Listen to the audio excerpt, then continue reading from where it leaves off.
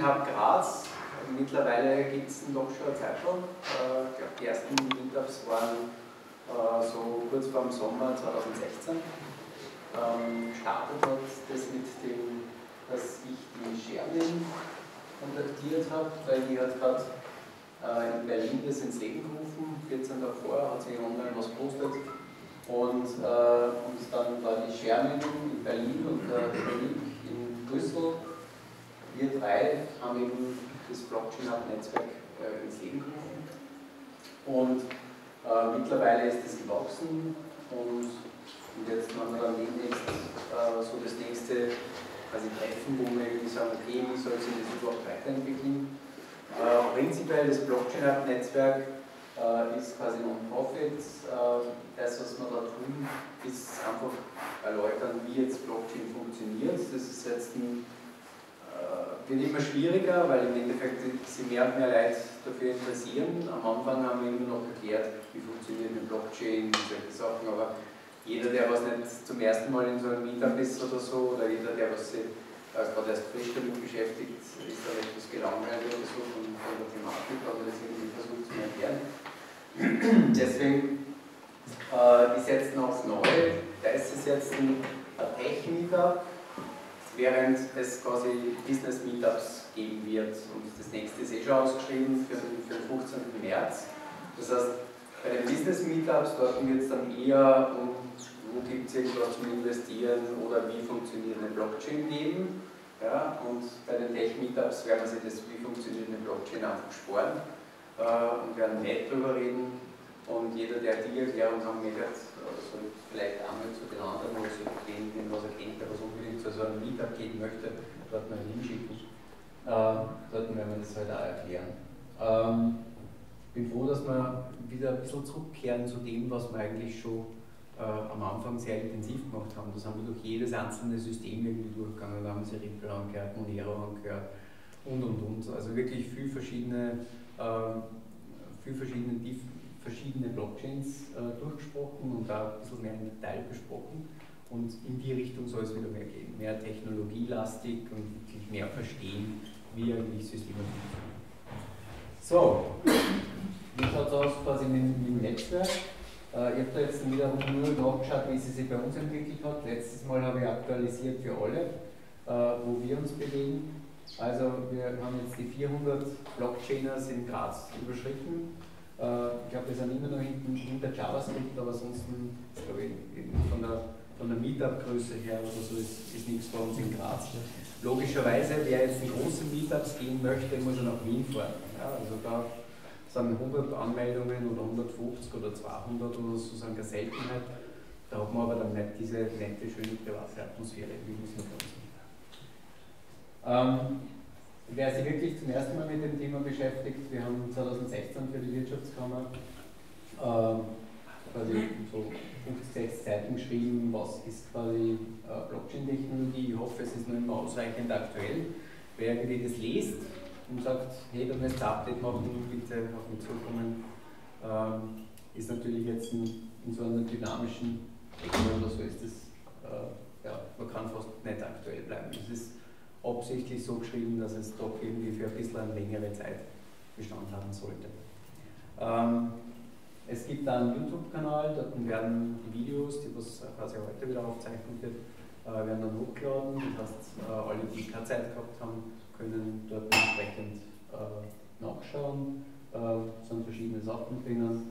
2016 haben wir unseren Blockchain Startup Contest, wo irgendwie der Max irgendwie so alles drauf ist, gehabt äh, was aus meiner Sicht heute immer noch recht spannend ist, äh, weil wir damals quasi Startups hoch oder gezeigt haben, was es gibt, was jetzt irgendwie ziemliche Größen sind in der, in der, in der Blockchain-Szene. Ja, Status hat 100 Millionen Euro eingesammelt äh, bei ihren ICO.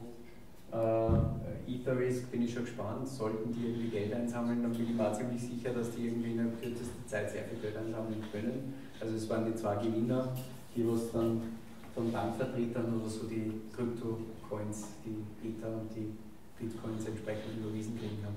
Das war äh, das Novum, ich weiß nicht, dass das schon passiert ist. Ähm, dann auch die Folien. Äh, landen immer auf Slideshare, äh, quasi dort sind von den vergangenen Meetups die Foliensätze zu finden. Und ja, dann kommen wir eh schon zu dem, über was wir heute reden. Das ist Meetup Nummer 17. Äh, wir hören heute von Daniel äh, zum Thema äh, Lightning Network. Ähm, und hinten noch werden wir nur kurz in Richtung Topic Search gehen. Ja, das heißt, ich möchte ganz gerne von euch irgendwie dann wissen, was im Tech und im Businessbereich irgendwie für euch spannend wäre. Oder wenn wir einfach ein bisschen was niederschreiben und dann gibt es wieder klassisches Networking äh, und Bier auch frisch einkaufen. Also im Prinzip ist alles da, da gibt man sich irgendwie lange heute unterhalten können.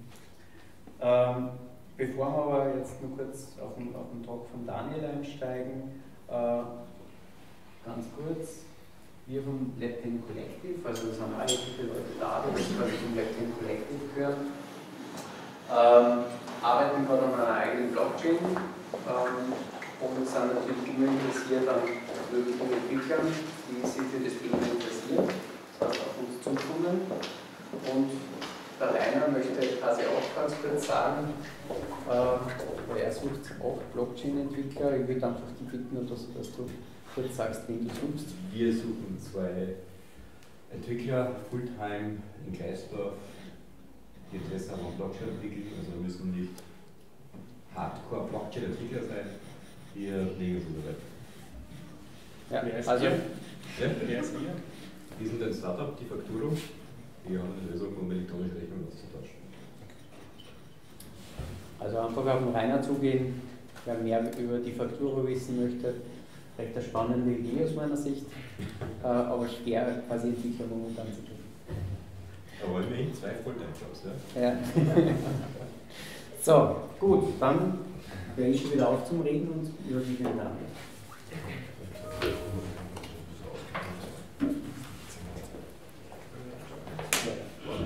Ja, der Herz.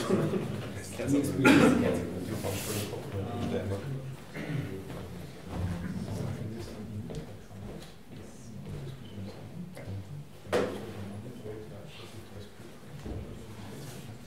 Jo, also hallo, also der Thomas hat mich schon vorgestellt, ich bin der Daniel. Äh, Daniel ich arbeite bei Coinfinity. Das ist ein Grazer Betrieb, der sich viel mit dem Thema Bitcoin und Kryptowährung im Allgemeinen beschäftigt. Es sind auch viele von Confinity jetzt da. Und der Max ist irgendwo da. Das ist unser Chef, der hat mir. Der ist gerade im Kühlschrank. Also der ist von Der hat mir in den letzten Wochen ein paar Mal einiges an Zeit zur Verfügung gestellt, dass ich mich mal mit dem Lightning-Netzwerk auseinandersetze. Da haben wir ein paar Experimente damit gemacht und die ganzen Infos, was ich da für uns zusammengesammelt habe, möchte ich euch jetzt weitergeben, versuchen.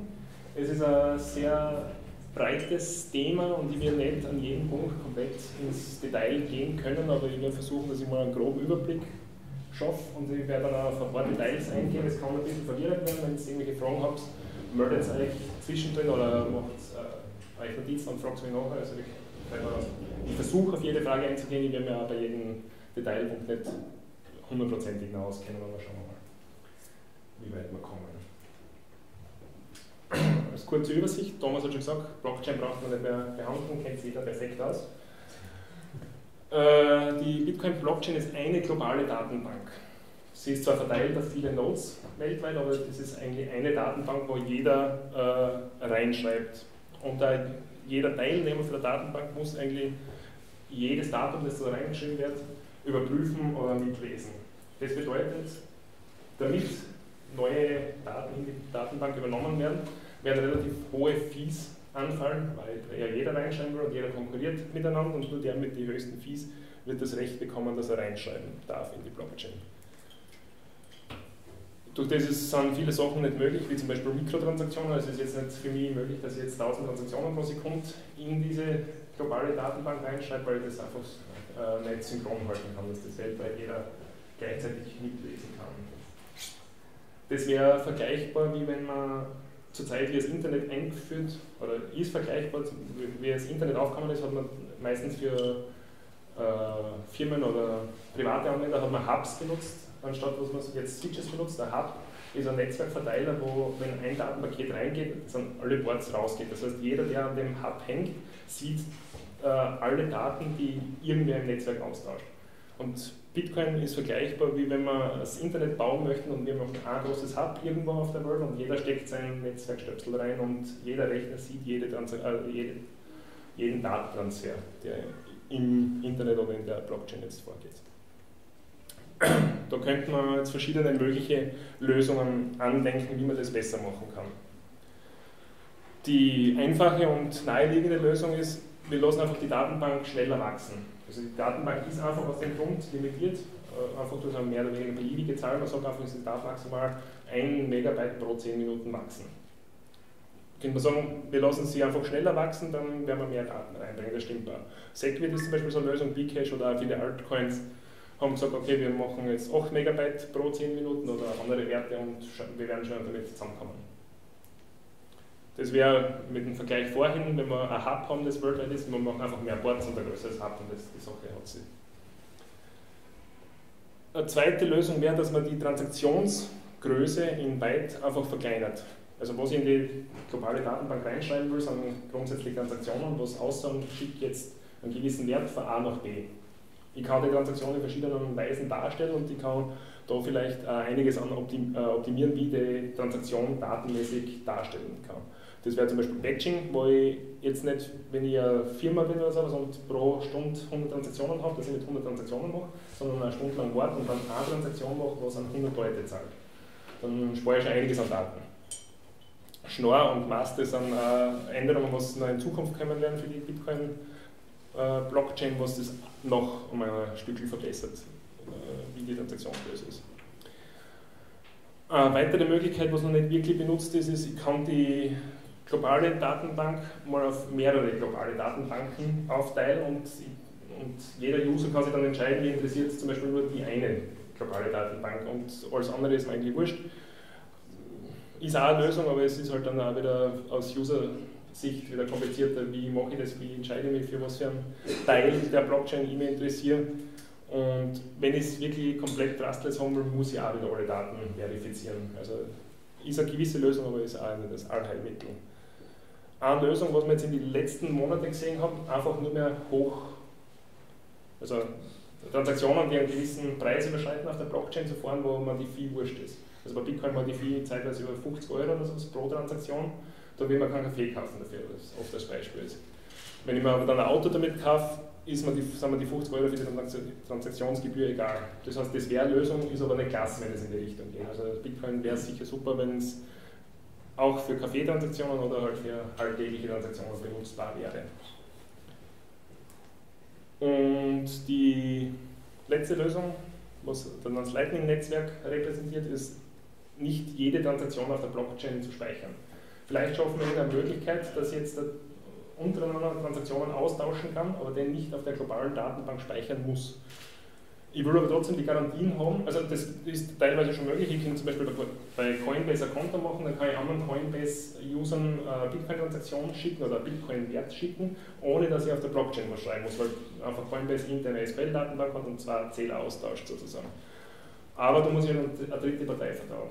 Das wäre natürlich klasse, wenn wir das irgendwie schaffen, dass wir das dezentral äh, so lösen können, dass nicht eine Partei, dass ich nicht einer Partei vertrauen muss.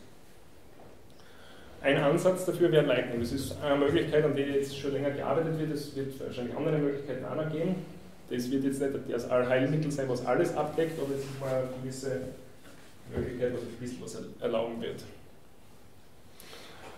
Äh, und das kann man als zweites Layer über der Blockchain sehen. Gleich wie bei Internet sie auch Layer gebildet haben, da habe ich das untere Layer, wo TCP/IP ist, und dann haben sie höherwertige Layer sozusagen drüber gebildet, wie HTTP, und irgendwann ist auf Facebook draufgelaufen.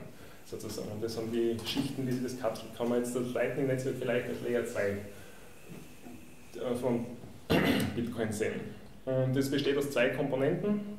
Die eine Komponente wäre Payment Channels. Der Payment Channel, die Technologie dahinter gibt es eigentlich schon relativ lang. Das hat vor drei, vier Jahren also, äh, schon eine Bitcoin-Demo gegeben, wo einer einen Payment Channel zwischen seinem Auto und einer Tankstelle gemacht hat. und wenn er tankt hat, hat sein Auto sozusagen pro Milliliter äh, einen gewissen Wert halt an die Zapfsäule übermittelt und wenn irgendeiner von die zwei Flüsse, Benzin oder Bitcoin in die Richtung abgebrochen ist, hat die andere Partei auch aufgehört. Das heißt, das ist ein Channel, den ich zuerst mal auf der Blockchain aufmachen muss, aber dann kann ich unendlich viele Transaktionen innerhalb dieses Channels fahren, ohne dass ich jetzt eine Blockchain-Transaktion mache. Das funktioniert aber nur zwischen zwei Parteien. Das kann Sinn machen, aber wie man sieht, also die Technologie gibt es schon länger, aber sie wird nicht wirklich benutzt, weil es einfach selten den Sinn macht, dass ich jetzt zwischen zwei Parteien oft einfach hin und her schicke, sondern eher will irgendwann mal irgendwas schicken, dann irgendwas schicken und dann irgendwen anders was schicken. Jetzt müsste ich zu jedem einen Payment Channel aufmachen, dann sind das auch wieder äh, gleich viele Transaktionen und man hat auch nicht wirklich was gewonnen.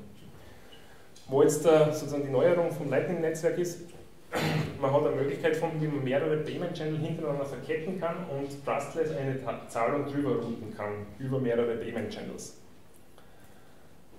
Das heißt, man kann aus, dem, aus mehreren Payment Channels bestehenden ein Netzwerk bilden und das Netzwerk ist dann das Lightning-Netzwerk. Und über mehrere Hops Zahlungen äh, routen. Das heißt, ich werde jetzt die zwei Komponenten vom Lightning-Netzwerk ein bisschen untersuchen. Das wäre die erste, wie gesagt, der Payment Channel und nachher schauen wir uns an, wie man über mehrere Channels drüber routen kann. Äh, Payment Channel schaut so aus, dass sich zwei Parteien, das kann eine Firma und eine Privatperson oder zwei Privatpersonen oder wie immer, das ist komplett egal, sein, sich dazu entscheiden, dass sie einen äh, Channel machen wollen, weil sie vielleicht in Zukunft mehrere Transaktionen austauschen wollen. Äh, Sobald der On-Chain, der Channel erzeugt worden ist, können Sie über eine andere Datenübertragung, über Internet oder wie auch immer, vorsignierte Bitcoin-Transaktionen austauschen, die Geld aus diesem Channel ausgeben würden, so dass das der, der aktuellen Balance des Channels entspricht. Das werden wir uns noch ein bisschen genauer anschauen, das ist jetzt verwirrend. Äh, aber sie broadcasten diese Transaktion nicht. Das heißt, jeder hat die Transaktion, dass er den Channel schließen könnte, sollte die andere Partei aus irgendeinem Grund auch äh, verschwinden oder irgendwas betrügen wollen, kann jeder Teilnehmer für sich die Transaktion äh, broadcasten und die bestätigt auf der Blockchain. Aber man muss nicht. Das heißt, ich kann jetzt so 1000 Transaktionen innerhalb von dem Channel ausführen und erst wenn beide sagen, okay, mir reicht's, äh, genau, dann schließt man den Channel, dann ist das wieder eine echte Bitcoin-Transaktion oder eine Bitcoin-Transaktion, die auf der Blockchain aufschlägt. Was man da braucht und was das Ganze ein bisschen kompliziert macht, ist, man braucht äh, Methoden, wie man eben Sonderfälle behandeln kann. Das heißt, wenn ich jetzt mit einen Payment Channel aufbaue, was ist, wenn der nicht mehr mit mir kooperiert, wenn der verschwindet, wenn sein Internet abbricht oder sonst irgendwas, muss ich mein Geld aus dem Channel rausholen können. Und am besten, oder am besten natürlich, nur so in dem Zustand, wie der Channel sich jetzt gerade befindet. Wir werden jetzt ein bisschen darauf eingehen. Da ist was kompliziert wird. Okay, wir haben wieder die üblichen Verdächtigen, Alice und Bob. Alice oder beide entschließen sich, dass zwischen ihnen einen Payment Channel aufbauen wollen, der maximal eine Kapazität von einem Bitcoin hat. Das muss man sich vorher entscheiden. Das ist ein bisschen Limitierung, was das Ganze kompliziert machen wird. Schauen wir mal. Das heißt, sie bauen eine Transaktion, äh, das einer Multisig-Adresse entspricht, wo äh, Unterschrift von beiden notwendig ist, damit man von dieser Adresse wieder was ausgeben kann. Das ist ein 2 von 2 Multisig, ist auch eine Technologie, die es schon lange gibt, aber ja, je nachdem halt selten benutzt wird. Aber gleichzeitig, wie Sie die Transaktion eigentlich in der Blockchain oder bevor Sie es eigentlich broadcasten, äh, tauschen Sie ja über einen Side-Channel eine Transaktion aus, die sagt, wenn diese Transaktion bestätigt auf der Blockchain, gibt es eine Transaktion, die der LS einen Bitcoin schickt und dem Bob 0 Bitcoin schickt. Das ist der aktuelle Zustand des Channels. Denn die Transaktionen speichern sie beide, broadcasten sie aber nicht. Mit dieser Transaktion hat aber die Alice die Garantie, sollte, also wenn sie den Channel jetzt aufmacht und sollte der Bob verschwinden, kann sie ihr Geld wieder rausholen aus dem Channel, ohne dass der Bob kooperieren muss. Wenn jetzt der Alice sich entscheidet, aus irgendeinem Grund möchte sie 0,4 Bitcoin an Bob zahlen, tauschen sie einfach zwei, äh, wieder zwei vorsignierte Transaktionen aus, die sagen, zahl 0,6 Bitcoin an Alice und zahl 0,4 an Bob. Bob schaut sich die Transaktion an, schaut, sieht, okay, es gibt eine beliebige Funding-Transaction, was diese Transaktion ermöglichen würde. Das heißt, er ist zufrieden, er kann seinen, seinen internen Zähler updaten und die Alice äh, tue den Zähler runterzahlen und das ist die neue Balance des Channels. LS kann 0,6, Bob kann 0,4. aber sie haben sich nur die Transaktion austauscht. Auf der Blockchain ist nichts passiert. Jetzt kann sich Bob dazu entscheiden, okay, jetzt irgendwann möchte ich der LS wieder 0,2 zurückzahlen. Das heißt, der, der, Zähler für Bob geht runter, der Zähler für LS geht rauf. Sie tauschen sie eine Transaktion aus, was sagt, zahl 0,8 an LS, 0,2 an Bob und die Sache ist wieder gegessen. Jeder hat zu jedem Zeitpunkt die Transaktion, die diesen Zustand eben auf der Blockchain äh, durchführen würde, aber sie broadcasten es nicht. Und das ermöglicht, dass ich jetzt äh, tausende Transaktionen zwischen diesen zwei ausführe, ohne dass ich jetzt eine zusätzliche Transaktion brauche. Aber wie gesagt, nur zwischen zwei Parteien und das gibt es auch schon relativ lange. Das ist dann zum Beispiel der Endzustand, der 0123 und 877. Und sie sagen, okay, uns reicht es jetzt, wir werden wahrscheinlich nichts mehr in Zukunft miteinander zu tun haben. Dann können Sie eine Closing-Transaktion machen. Aus Sicht der Blockchain ist es einfach eine ganz normale Transaktion, was von irgendeiner anderen Transaktion, was irgendwann ganz in der frühen Zeit mal passiert ist, äh, Bitcoins ausgibt in diesem Format. Also Zahl LSO für Zahl Bob für Die Blockchain hat nichts davon begriffen, dass da eine tausende Transaktionen dahinter waren. Das ist mal der Fall, wenn alles gut hinhaut.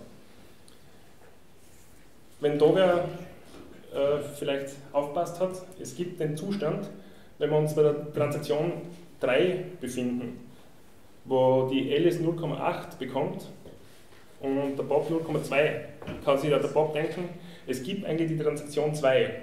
Wenn LS jetzt meinen Channel zumacht, bekommen die LS8, also 0,8 und ich 0,2. Wenn ich aber die Transaktion 2 vor ihr broadcaste, bekomme ich 0,4. Das heißt, ich kriege eigentlich doppelt so viel, was mir jetzt zusteht. Das heißt, ich könnte LS betrügen. Und das sind eben Dinge, was man verhindern muss, ohne dass ich jetzt auf den Bob vertrauen muss, dass er mit mir mitspielt. Und das ist so gelöst. Da habe ich euch ein bisschen was verheimlicht. Die Transaktion ist nicht so simpel, wie sie da steht, sondern die schaut in Wahrheit so aus. Also jede Transaktion für sich im Fall der Transaktion 2 schaut es so aus, es gibt einen Bitcoin, das ist die Funding Transaction, was man davor gesehen hat. Ist mal äh, vorsigniert von der Alice, das heißt der Bob kann selber seine Signatur dahinter hängen, der kann selber berechnen, wenn, wenn er sie brauchen würde. Die zahlt 0,6 an Alice und 0,4 an Bob, aber er muss 100 Blöcke warten. Oder die 0,4 gängen an Alice, wenn Alice ein Secret B2 präsentieren kann. Zum Zeitpunkt, wo nur Transaktion 2 existiert, weiß Alice Secret B2 noch nicht. Das heißt, Alice kann Bob nicht betrügen. Wenn, und für die Alice schaut das Ganze gleich aus, nur gespiegelt. Das heißt, so schaut jede Transaktion für sich aus. Wenn jetzt der, der Übergang von Transaktion 2 auf Transaktion 3 stattfindet, wird die Alice die Transaktion 3 nur akzeptieren und voraussignieren, wenn Bob ihr ein gültiges Secret B2 präsentiert und umgekehrt genauso. Also der, die Alice muss an Bob ein Secret A2 präsentieren. Das ist sozusagen ein Geheimnis, das jeweils den anderen ermöglicht, ihm äh, äh, gegen zu betrügen, sollte er betrügen zu versuchen. Also wenn jetzt der Bob zum Zustand 3 versuchen würde, die Transaktion 2 zu broadcasten, sieht Alice, der auf der Blockchain hat 100 Blöcke Zeit und kann die Gegentransaktion äh, broadcasten, die viel schneller bestätigen wird als seine und sie bekommt alles. Das heißt, versucht Bob sie zu betrügen, kann Alice von Bob alles wegnehmen. Das heißt, Bob hat ein sehr hohe Incentive, sie nicht zu betrügen. Und vice versa.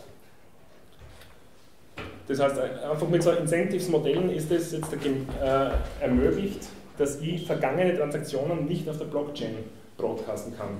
Und das ermöglicht beiden für sich zu vertrauen, dass nur der letztgültige Zustand des Channels broadcastet werden kann. Der Nachteil davon ist, beide müssen immer aktiv die Bitcoin-Blockchain überwachen. Sollte Alice jetzt da offline gehen und Bob äh, broadcastet diese Transaktion, hat er 100 Blöcke Zeit, dann würde er Alice betrügen können. Er kann es aber nicht wissen, weil es könnte sein, dass Alice irgendwo vielleicht dann doch online geht und dann nimmt sie ihm alles weg. Das heißt, das ist ein sehr hohes Gamble, was beide miteinander führen müssten. Und vor allem wird es Services geben, oder gibt es teilweise schon, der heißt Watchtower, wo ich die, eine vorsignierte Bestraftransaktion dem Watchtower übergeben kann. Der, und der Watchtower sieht eigentlich nur die Transaktions-ID und, und Alice kann sagen, solltest du jemals die Transaktions-ID äh, sehen, führe die Transaktion aus. Und der Watchtower weiß eigentlich überhaupt nichts über die Parteien, er weiß nicht einmal die äh, aktuellen Channel States. Aber nur wenn er das sieht, kann er die ausführen und er hilft der Alice sozusagen, dass sie die Gegentransaktion ausführt, ohne dass sie online ist. Auch komplett in der Trustless. Das heißt, Darf ich kurz zwischenfragen? Gerne, ja. Was deckt der Watchtower dann dafür? Er kann zum Beispiel verlangen, dass er vorher bezahlt wird über einen Lightning Channel 5 Satoshi oder sowas. Oder sogar 0,5 Satoshi. Das ist immer klar. Das heißt, ich muss halt dann vorher den Watchtower gleichzeitig, wenn ich ihm die Transaktion schicke, eine kleine Menge per Lightning schicken und dann wird es eher drum kümmern. 0,5 Satoshi? Genau. Wer, nein, kommt bald vor. Aber in Lightning ist möglich, also die Basiseinheit von Lightning ist Millisatoshi, das heißt 1000 Satoshi. Und das ermöglicht auch wieder durch äh, probabilistische Verträge, dass man sogar Sub-Satoshi-Beträge austauschen kann. Ist momentan noch nicht komplett implementiert, aber zumindest vorgesehen.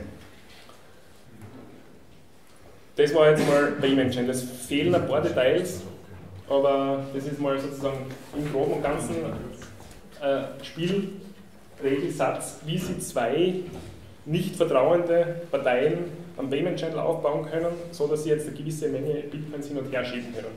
Aber sie müssen sich vorher halt über eine gewisse Kapazität einigen. Die kann man nicht im Betrieb erhöhen. Ja? Ja, bei diesem Watchtower, wie funktioniert das, dass der weiß, dass das auch nicht der letzte, also nicht die letzte Transaktion ist, sondern die vorletzte oder zumindest nicht die letzte? Das muss er nicht wissen. Also ich will immer die aktuellste schicken weil, also muss immer die aktuelle schicken. Genau. aber er könnte theoretisch auch ältere, weil ich steige in, also die Alice wird in beiden Fällen so ausstellen, dass sie alles bekommt, wenn sie deklärt. Na ist klar, aber du musst ihm immer kontinuierlich genau, ja. ja. schicken. Das macht einiges ein bisschen komplizierter. Man kann jetzt nicht so ein Backup machen, weil ich einmal meine 12 Wörter irgendwo Backup sondern ich muss immer äh, live vom System eigentlich ein Backup machen, weil ich immer die, also die Alice kriege vom Bob immer die Gegentransaktion und die muss ich wirklich im Backup haben. Den kann ich jetzt nicht deterministisch irgendwie vorgenerieren. Das heißt, die Backup-Strategie wird bei Lightning interessanter. Okay. Ja. Wenn es halt multiple Watchtower, aber wenn man weiß, dass an die Außenangriffe auf einen Watchtower gestartet wird, könnte wahrscheinlich bald was Böses passieren am Lightning Network. Wie? Wenn? Wenn der Watchtower angegriffen wird und der Ich kann das auf tausende verschiedene verteilen. Wie würde die Kosten steigern? Ja, es werden auch verschwindend kleine Kosten sein und das, da muss ich halt abwägen, wie viel mir das wert ist. Aber im, also ich, der Watchtower ist eigentlich nur ein optionales Ding. Also wenn ich weiß, dass ich meistens online bin, also ich habe so 100 Blöcke, ich weiß jetzt gar nicht, ob die, das kann man sich glaube ich auch in der Channel-Erzeugung ausmachen, wie viele Blöcke die Sperrfrist ist. Und dann muss ich halt schauen, dass ich mindestens einmal kurz online bin in der Zeit. Dann brauche ich einen. Das ist nur sozusagen als Backup. Was ist erwartet also Best Practice von der Lebensdauer von so einem Channel? Das ist was Interessantes, ja. Im Idealfall sehr lang, aber was sehr lang ist, weiß man noch nicht. Aber wir werden später noch im, also im Weiteren sehen, dass es doch durchaus sein kann, dass man sie sehr, sehr lange offen halten kann. Werden wir noch darauf eingehen. Aber eigentlich, sobald ich drei Transaktionen über den Channel austauscht habe, habe ich schon gewonnen. Weil ich brauche zwei Transaktionen on-chain für den Channel und ab der dritten Transaktion habe ich gewonnen. Und tendenziell werden wir wahrscheinlich 1000 bis 10.000 fahren können.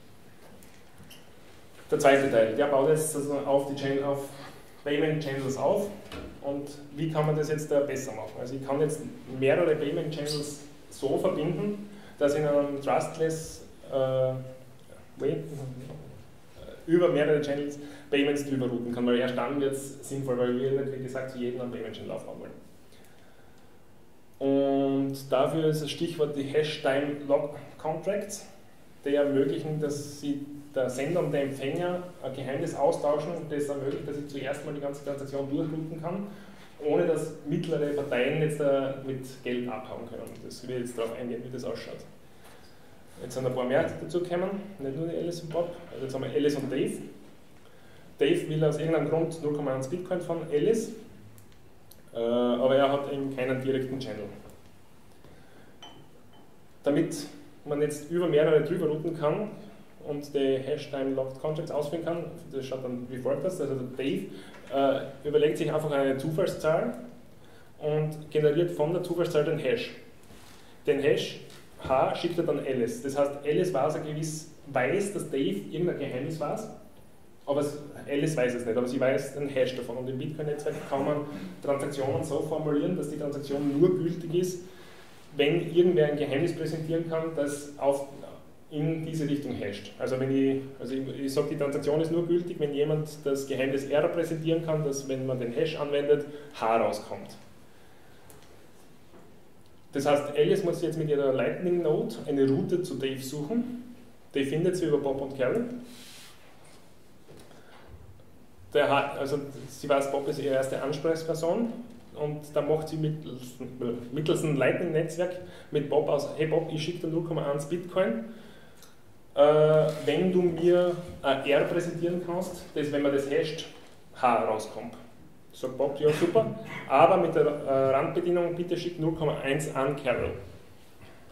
Äh, auch wieder mit demselben R. Das heißt, Bob, okay, er wird nichts gewinnen und wird dann nichts verlieren. Man kann dann später natürlich weiter Fees ein, einfließen, das ist jetzt nur der Einfachheit mal weggelassen. Also in Wahrheit wird er 0,999999 weiterschicken und das macht man sich zuerst aus, was die Fees sind.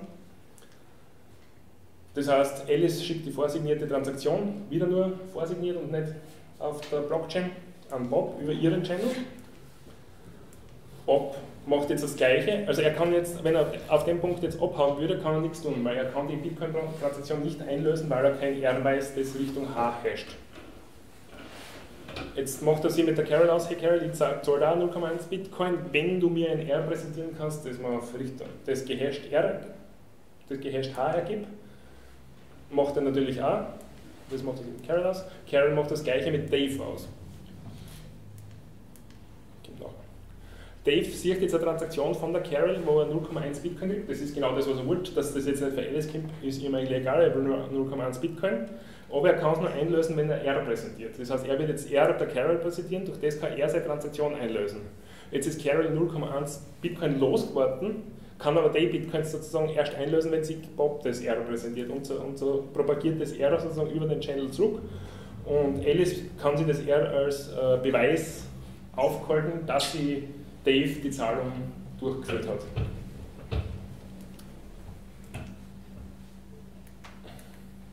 Äh, genau, und das ist dann auch wieder mit den also Payment Channels so gemacht, dass es keinen Zeitpunkt gibt, wo jetzt irgendwer die Verbindung abbrechen könnte und damit Geld abhauen kann, weil er erst, äh, also weil das Ganze atomar macht. Das heißt, erst wenn wirklich alles durchgeroutet ist, wird jeder das R sehen. Die Transaktion selber ist auch so gemacht, dass äh, wenn, die, wenn die Transaktion, wenn, die, wenn der Channel geschlossen werden muss, weil er irgendwie nicht kooperativ ist, muss in der Bitcoin-Transaktion das R in Plaintext präsentiert werden. Das heißt, sollte, was wäre das dann für ein Fall? Genau, sollte Dave die Transaktion einlösen wollen, ohne dass er es R präsentiert, also ohne dass es Carol direkt schickt, muss er die Bitcoin-Transaktion auf der Blockchain machen und damit er die auf der Blockchain machen kann, muss er das R präsentieren. Das heißt, jeder, was jetzt die Blockchain sieht, wird das R einfach aus der Blockchain lesen können und sollte Dave das nicht über den normalen Transaktionskanal machen. Und das heißt, dann würde jeder seinen Channel zwar schließen auf der Blockchain, es wird zu wirklichen Bitcoin-Transaktionen führen und ein bisschen meiner Fee anfallen, aber es kann jeder seine Guthaben wieder aus den Channel rausholen, sozusagen, ohne dass jetzt das unterbrochen worden ist. Aber im Idealfall tauscht jeder das R aus, okay, sie, das passt alles, es wird jeder seine Balances updaten und es wird keine Transaktion durchgeführt. Frage, ja? musst du in dem Spiel, wenn jetzt von 0,1 von Alice zu Dave schickt, musst du jeder dazwischen, Bob und Carol, auch 0,1 initial haben genau. oder nicht? Genau. Schon auch, gell? Da können wir jetzt die ganzen Randbedingungen, das sehr kompliziert machen. Das werden, das werden wir kurz später noch sagen. Das heißt, jeder Channel muss mal die, mindestens die Kapazität von 0,1 haben und er muss in einem Zustand sein, wo Alice Bob 0,1 schicken kann. Weil es könnte sein, dass zum Beispiel in dem Channel jetzt die Balance komplett auf der Seite von Bob liegt. Dann kann Alice ihm nichts mehr schicken, weil er ihm kehrt schon alles in dem Channel. Dann ist die Route nicht möglich. Dann muss man schauen, ob es irgendeine andere Route gibt oder man muss eine neue Route direkt zum Beispiel aufbauen. Das vor allem einzuschätzen ist relativ schwer, weil die Balances, also die Kapazitäten und die Balances der Channel eigentlich privat sind. Also die werden die Nodes nicht broadcasten. Ich weiß nur die Balances für die Channel, wo es direkt an mir andocken, aber weiter nicht. Das heißt, auch wenn ich jetzt Routen probiere, werde ich zwar Route sehen, aber ich weiß jetzt nicht wirklich, ob die Balance das ermöglichen wird. Das heißt, ich muss mal versuchen, wenn die Transaktion durchgeht, hat es halt hingehauen und sonst muss ich mir einen anderen Weg suchen. Was da jetzt auch cool ist, die durchgehenden Transaktionen hängen kryptografisch oder blockchain-technisch eigentlich nicht zusammen. Das heißt, das sind eigentlich immer nur Contracts zwischen die zwei Parteien, was, da, was aussagen, gib mir irgendwas im Wert von 0,1 Bitcoin, dann gebe ich dir R. Das ist sozusagen unser Tausch. Jetzt kann sich Bob und Carol genauso überlegen, okay, ich zahle, also ich habe dann einen, äh, Litecoin-Channel oder einen Ether-Channel oder sonst irgendwas. Ne, Ether wird schwieriger werden, aber sagen wir Litecoin-Channel offen. Und Alice und Dave kriegen das gar nicht mit.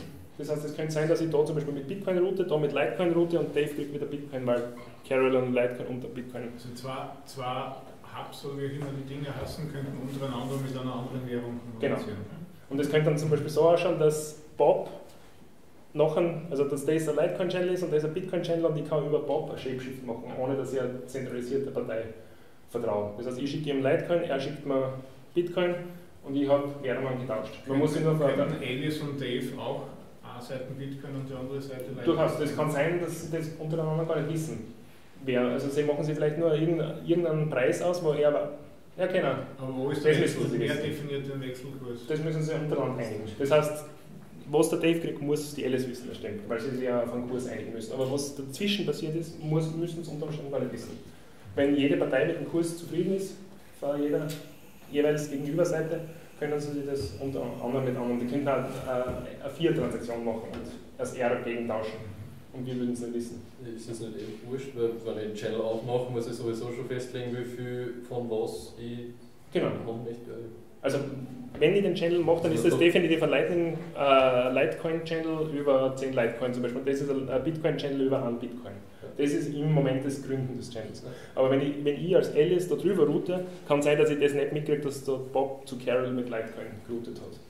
Ja. Und der Bob dafür halt, ja, eben, aber dann sind halt so Möglichkeiten wie Atomic Swaps möglich, weil der Tausch immer nur durchgeführt wird, wenn beide Seiten clean sind. Und wie machen Sie das jetzt aus? Und aber die Transaktion findet dann statt, wenn die Channels geschlossen werden, dann könnten die Kurse ganz anders sein. Nein, also die, sie tauschen oder sie verändern die Zähler ihres Balance, also des Channel, die Balance des Channels in dem Moment und jeder ist zufrieden. Die, die Transaktion, die irgendwann das Closing, das ist ja nur eine, der beinhaltet nicht alle historischen Transaktionen, sondern du schließt den Channel zur aktuellen Balance. Dass da jetzt irgendwelche Altcoin-Trades stattgefunden haben, das ist ja wurscht. Weil du, du kriegst deine Bitcoins in deinem Lightning-Channel und kannst das sofort weiter benutzen. Das ist das gleiche, als hättest du die Bitcoins auf die Adresse bekommen. Jo. Ich habe noch eine.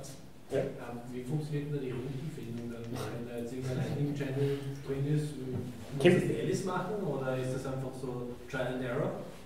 Äh, also, dass wirklich über mehrere Altcoins rübergeht, das ist noch nicht implementiert. Ist auch vorstellbar, dass, das, dass sie einfach Bob fragt, bitte kennst du irgendwen, der Richtung Dave eine Bitcoin-Routen kann? Er weiß halt, er muss sich mit seinem Kurs das umrechnen und fragt, der Carol, würdest du mir jetzt 10 Litecoins für das annehmen und dafür ihm halt wieder 0,1 Bitcoin mitschicken?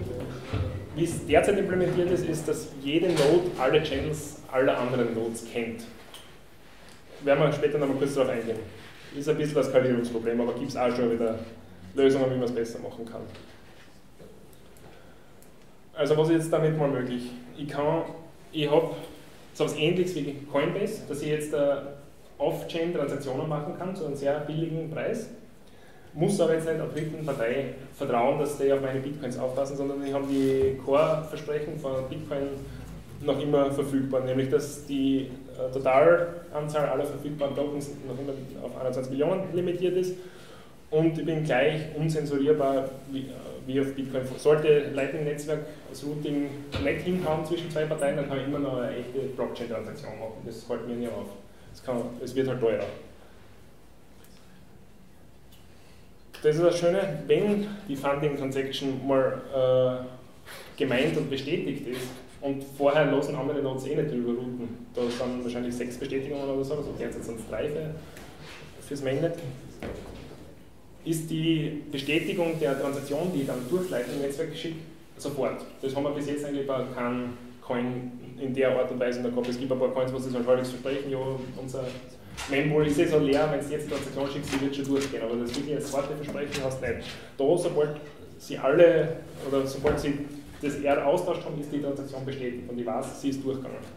Es gibt zum Beispiel auch nicht, okay, das haben wir auch vorher erwähnt, man kann, wie gesagt, Sub-Satoshi-Amounts übermitteln, also sie haben schon ein bisschen vorausgedacht, es könnte sein, dass Bitcoin mehr wert wird, dann wird es relevant, dass ich auch 0,1 Satoshi vielleicht verschicken kann.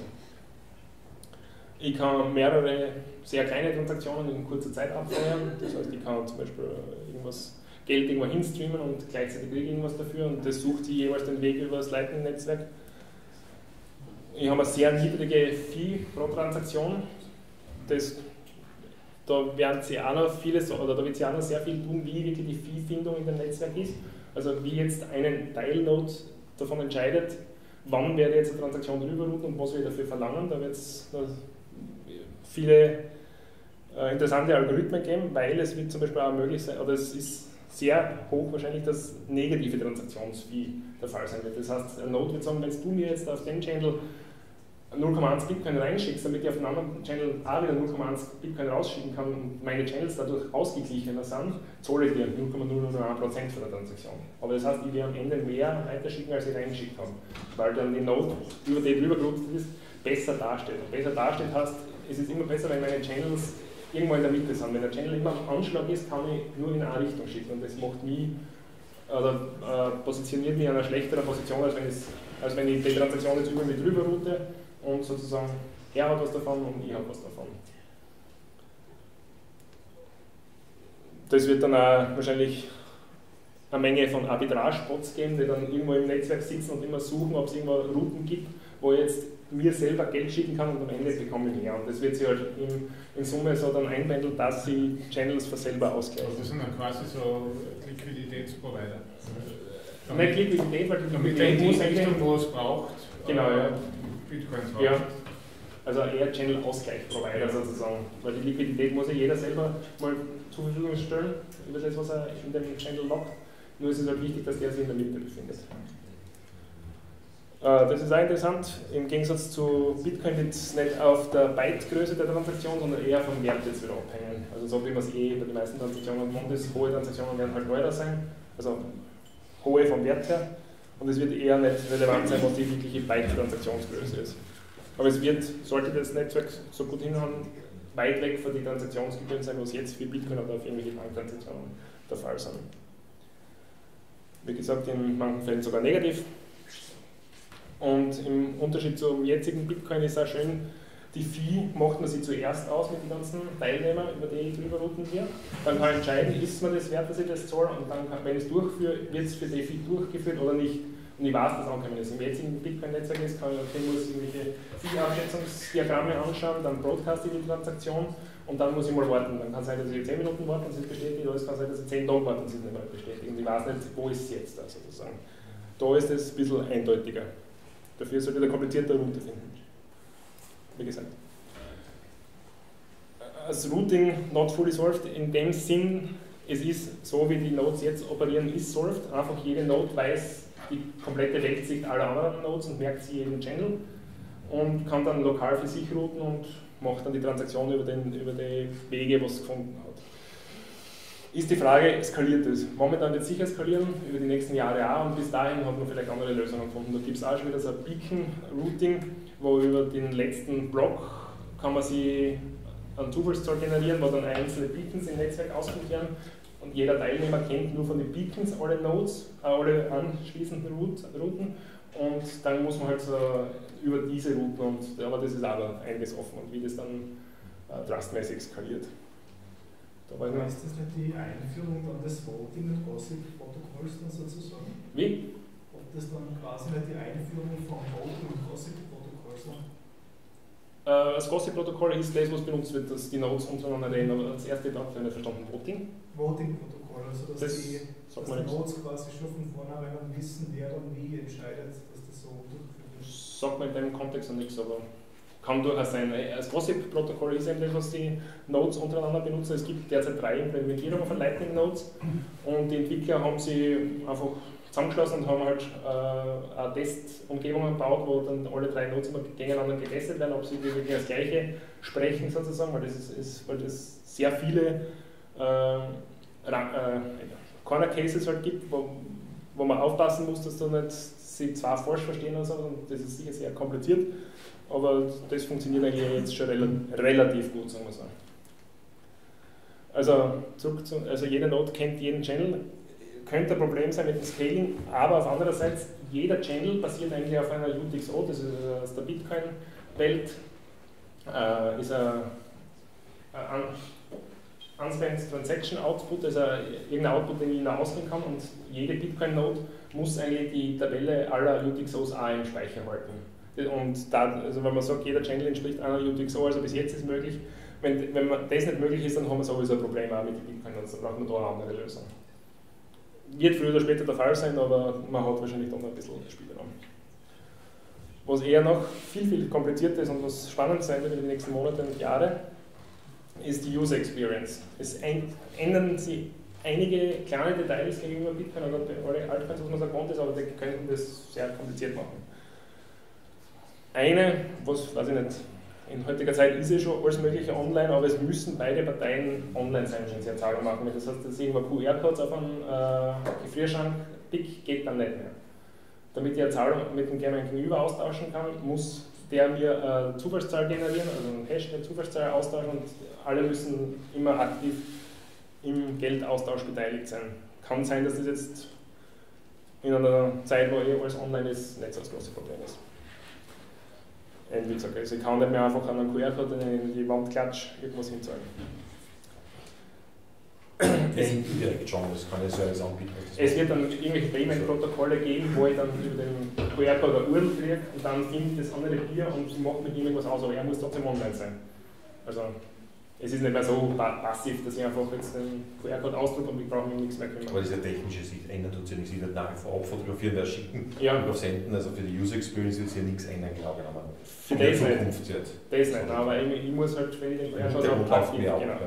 Aber, also auch wenn ich weiß, ich, hab, ich schaue auf meine Wallet, ich sehe, ich habe einen Bitcoin, ist nicht gesagt, dass ich zum Beispiel hier einen Bitcoin schicken kann, weil ich muss irgendeine Route finden, was, was jetzt einen Bitcoin Richtung dein Node schirmen kann. Das heißt, aber es kann sein, dass ich zum Beispiel dir nur einen halben Bitcoin schicken kann, wie könnte ich aber einen Bitcoin schicken, weil du über andere Routen erreichbar bist. Das heißt, es ist für mich nicht mehr so einfach, oder für mich als User nicht einfach einsehbar, was kann ich jetzt mit meinem einen Bitcoin machen. Desto mehr das Lightning-Netzwerk benutzt wird, desto einfacher wird es, weil desto mehr äh, verschiedene Verbindungen wird es geben und es wird die Wahrscheinlichkeit steigen, dass ich zu jeder Partei einen Channel finden werde, oder halt eine Route über die Channels finden werde. Werden wir später noch mal kurz sehen.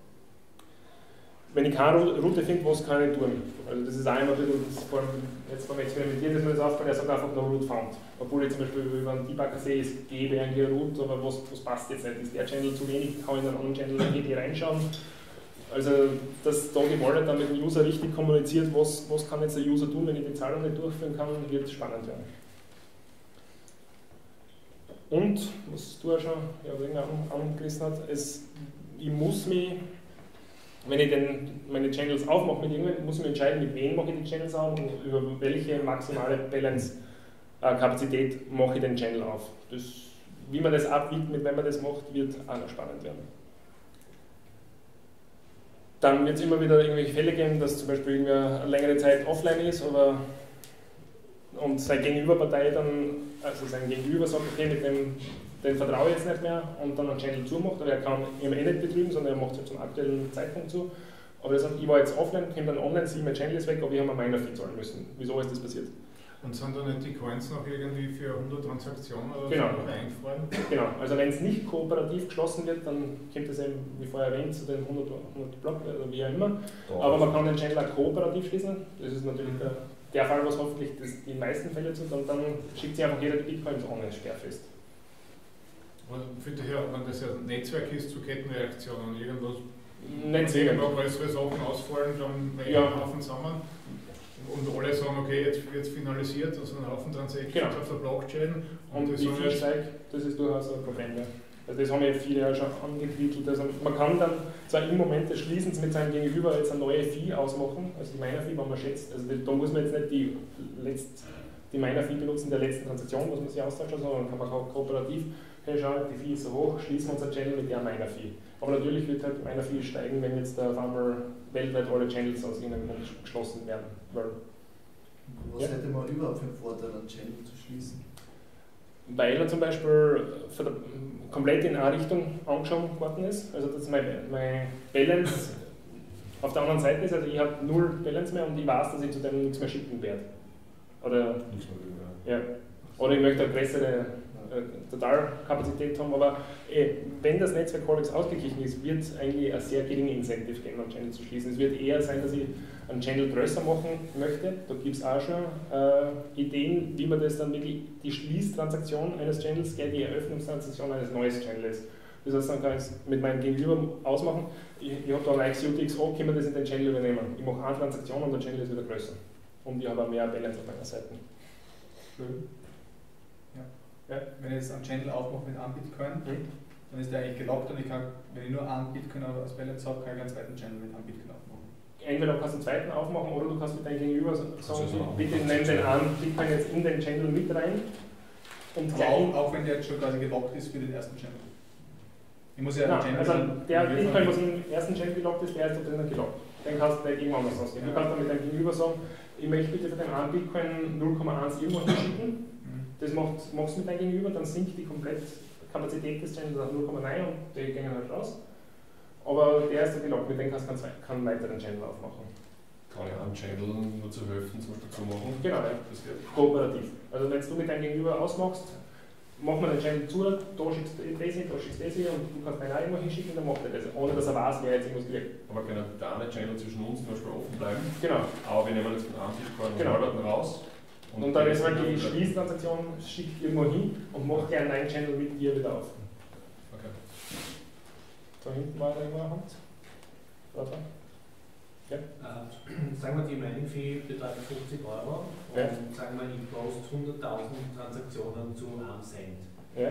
Ähm, wenn ich die jetzt alle betrüge, ähm, was heißt alle betrügen? Also wenn, wenn, ich immer unkooperativ bin, ja. ähm, dann ist der eine Fall, entweder ich bin reich, was die anderen nicht schert am Cent, ja. oder ich habe äh, Denial of Service aufs ganze Netzwerk. Genau. Äh, da gibt es auch wieder Ding, also die jetzigen Nodes sind so konfiguriert und das wird auch noch wahrscheinlich sich ein bisschen ändern oder dynamischer werden, dass sie eigentlich, also man macht den, ja, ich will jetzt nicht ganz so man macht den Channel so auf, dass die ganze Balance auf meiner Seite ist, zum Beispiel die ganze, und ich noch alles rüberschicken kann. Sobald ich aber mal über einen gewissen Punkt geschickt habe, kann ich nichts mehr zurückschicken unter 10%. Das heißt, es muss eine gewisse Mindestbalance auf jeder Seite des Channels sein, so dass das Betrügen mir weh tut. Mhm. Aber wie du gesagt hast, wenn ich einen Channel aufmache und nur mal einen Cent drüber schicke und dann irgendwas äh, Blöds treibt, dann wird es spannend werden. Aber es wird sich wahrscheinlich auch so einfinden, dass die Miner-Fee oder dass, dass der Mindestfee, was ich mal in eine Richtung mindestens geschickt haben muss, in, im Bereich der Miner-Fee sein werde, dass ich immer selber immer in den Fuß schieße, sollte sozusagen solche Sachen machen. Aber was ich zum Beispiel nicht weiß, oder wie das dann ablaufen wird, wenn ich zum Beispiel jetzt in einer Node bin und viele machen mit mir einen Channel auf aus irgendeinem Grund, weil ich es halt angelockt habe durch Social Engineering und dann mache ich die Tour zum Beispiel. Also dann, kann ich, dann müssen alle, die was mit mir einen Channel aufgemacht haben, die meine Feeds und ich habe zwar nichts davon gehabt, aber ich habe die anderen geärgert. Also es, es, wird sicher einige Attacken geben, wo man das noch abbiegen muss, wie das funktioniert. Es kann zum Beispiel auch Regeln geben, dass irgendwer, also dass ich zwei Parteien nur einen Channel aufmachen, wenn eine gewisse Balance schon auf, auf also dass nicht die ganze Balance auf meiner Seite liegt, sondern auch, dass untereinander schon in der, die in der Mitte liegt, dass beide draufzahlen, wenn wer betrügt. Dass da Knoten halt Trust Rating oder so kriegen, dass sie es in der Vergangenheit verhalten haben, ist das angedacht? Ja, aber wie das Trustless funktioniert, ist dann halt auch wieder die Frage. Es gibt auch schon ein paar Simulationen und Strategien, wie man Channels aufmacht, das finde ich interessant. Und da hat einer herausgefunden, dass, es ist immer schwierig, wie man so Simulationen vertraut, dass das stabilste ist, wenn ich Channels zu Leuten aufmache, die sozial in, in, in Social Contract sozusagen, die ich kenne, von denen ich weiß, dass sie mich nicht betrügen werden. Und ein paar zufällige, wo ich einfach irgendwen aus dem Netzwerk rausnehme und mit dem einen Channel aufmache. Das kann ich. Also, der kann, also er muss zwar zustimmen dazu, aber er, er hat keinen Nachteil damit. Das heißt, ich habe mal viele Channels, die über Holix sozusagen, wo ich über Freunde drüber ruht, wo ich weiß, die werden nicht betrügen. Und falls die aber offline sind, habe ich immer noch zufällige Verbindungen, die dann verschiedene Inseln im Netzwerk miteinander verbindet. Das ist ja so, dass man über zwei, zwei drei, vier Schritte fast jeden auf der Genau, Six Degrees of Separation. Also wenn du sechs Leute kennst, oder du brauchst sechs Hops, dass du von irgendeiner Person zu irgendeiner anderen Person auf der Welt kommst. Von dem, das spült sehr den Lightning Entwicklung. Ja. Wobei, ich sollte das machen, dass ich jetzt da mit keinem Freund und Bekannten Channel aufmache und mit dann aber andere random Leute. Weil im Endeffekt, wenn ich nach offline gehe, muss zahlt die aus meiner Feed. Das heißt, Aber nur wenn es offline ist, muss die Channels nicht closen. Also es wird Services geben, die für die das eben offen halten oder überwachen. Du musst ja nicht aktiv irgendwas tun, sondern du musst nur überwachen, dass sie nicht betrügen. Du kannst längere Zeit offline sein. Aber ja, also ja, bei was für Services sind also wieder so Coinbase-mäßig? Nein, äh, das wären die Watchtower-Services, wo sie dann darum kümmern, wenn einer dich betrügen möchte, würde er sofort die Bestraftransaktion ah, rausschicken. Aber du brauchst jetzt keine aktive stehende Datenverbindung immer mit See haben. Du musst eigentlich nur die, also mit Online sein habe ich eigentlich nur gemeint, du musst eigentlich nur die Blockchain überwachen. Okay, was in dem Fall noch der Watchtower ist. Genau. Ja. Ist diese Routing-Fee jetzt auch schon implementiert? Ist implementiert, ja. Aber es ist statisch. Also jede Node sagt einfach, wenn sie über mich drüber rutscht, zahlst du so viel Willi-Satoshi und noch kein Node.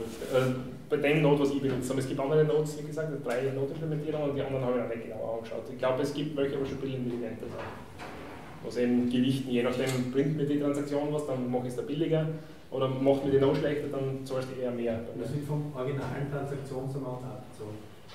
Genau.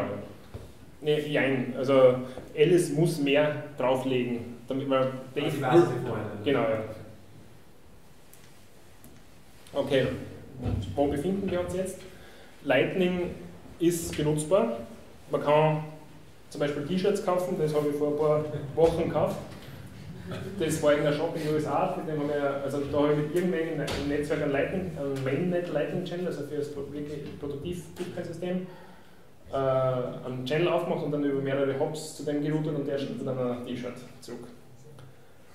Aber man hat dafür Command-Line-Tools braucht, man braucht eine Full-Node, mit mit der man sich komplett gesynkt hat und es ist halt teilweise sehr nach Beta, wenn zum Beispiel eine Route nicht gefunden wird, was tue ich und blablabla. Das heißt, sehr grob geschätzt, wir könnten sagen, wir sind 80% fertig mit Lightning, aber wenn Softwareentwickler da sind, weiß, kennt jeder oder kennt jeder implizit die Pareto-Rule, die ersten 80% der Arbeit brauchen ca. 20% des Aufwandes oder Zeit und die letzten 20 eben 80%. Aber wir brauchen nicht 100%, damit wir es benutzen können. Bitcoin selber ist auch noch immer Beta, keine Ahnung, wann das fertig wird, aber wir benutzen es auch schon recht viel. Wie gesagt, man kann T-Shirts kaufen, es gibt einen VPN-Anbieter, das war einer von den wirklich ersten, was echt Produkte für echt Lightning-Bitcoins angeboten hat. Und gestern auf Reddit gelesen, Laszlo, wer ihn kennt, das ist der 10.000 Bitcoin-Pizza-Typ, also der was irgendwann 2011, wann es war, 10.000 Bitcoins, für die, also der die erste echte Bitcoin-Transaktion gegen ein physisches Gut gemacht hat, hat vor zwei Tagen oder so irgendwas, äh, Lightning-Transaktion für zwei Pizzen gemacht. Also mittels Lightning Bitcoin zwei Pizzen gekauft. Er hat das aber wieder über einen Freund, also er hat einen Freund über Lightning was gezahlt, weil es gibt noch keinen Pizzahändler, wo man mit Lightning was kaufen kann. Aber das Coole ist, er hat das, das Hash Time Lock Contract mit dem geheimen R über den Pizzaboten gemacht. Das heißt, er hat dem Pizzaboten das Geheimnis präsentieren müssen und der Pizzaboten hat das Auftrag gehabt, wenn er ihm nicht die Zahl präsentiert, muss er die Pizza vernichten. Weil dann ist sozusagen der Channel über, also über das physische Gut sozusagen noch durchgezogen worden. Aufessen aufessen vorher zum Beispiel. Das ist dann immer überlassen, wie man das macht. Aber eben solche Spielereien. Und das ist jetzt zwar komisch, aber eben, also mit dem R, den man, das man präsentieren muss, damit die Zahlung durchgeführt ist, das ermöglicht wirklich einige coole Spielereien, weil das ist wirklich dann der kryptografische Beweis, dass ich eine Zahlung gemacht habe. Den gibt es jetzt in Bitcoin teilweise auch schon, aber ich muss halt immer wieder weiterkriegen, was unterschreiben, das ist immer kompliziert.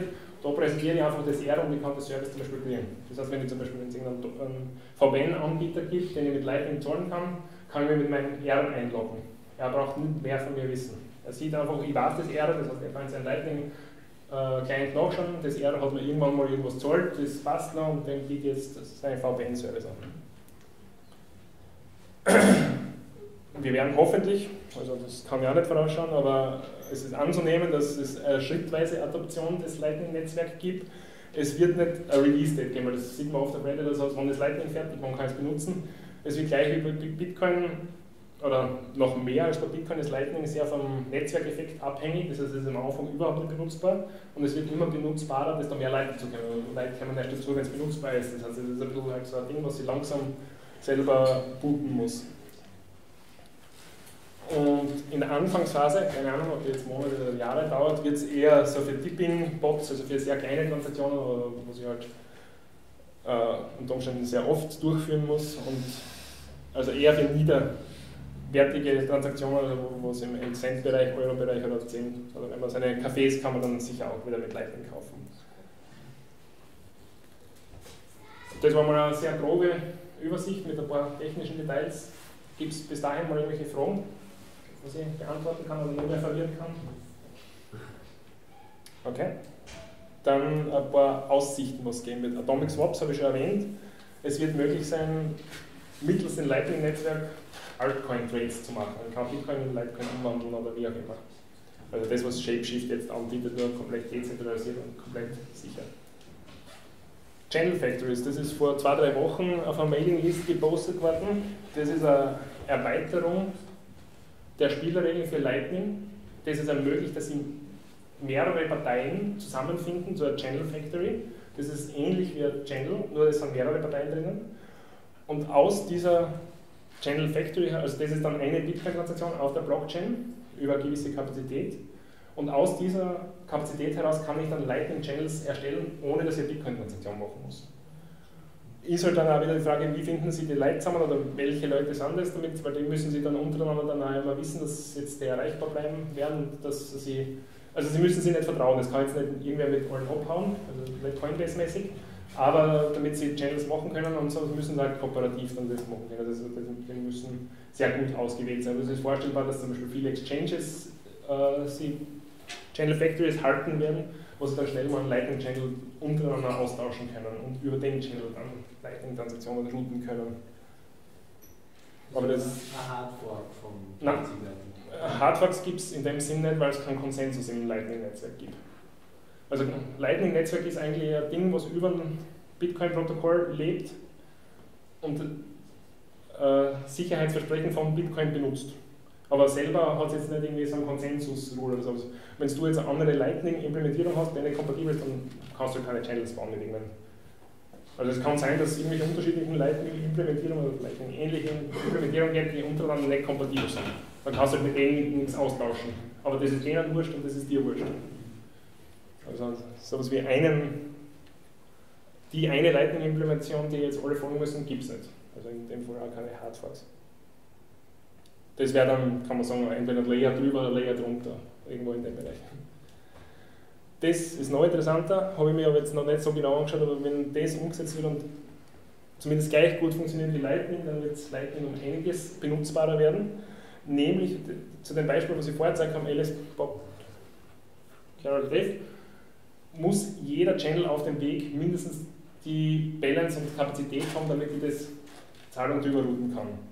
Mit den Atomic Multipath Payments wird es dann möglich sein, sollte es irgendeine Route, oder sollte es mehrere parallele Routen geben, die in Summe äh, meine Transaktionen routen können und dann es aufsplitten. Und das wird sehr oft möglich sein. Also es wird vielleicht selten möglich sein, dass ich genau eine Route finde, was das mindestens braucht, aber dass ich zehn Routen parallel finde, ein Zehntel meiner, also meiner, meiner Transaktionswunsch routen können, das wird sehr oft finden. Und also da gibt es schon paar sehr grundlegende Implementierungen und wenn das kommt, dann ist, glaube ich, macht es die Benutzbarkeit sehr hoch. Weil dann heißt es auch, wenn ich jetzt sehe, ich habe einen Bitcoin in meinem Wallet, dann ist die Wahrscheinlichkeit sehr, sehr, sehr hoch, dass ich den einen Bitcoin an jeden Teilnehmer schicken kann.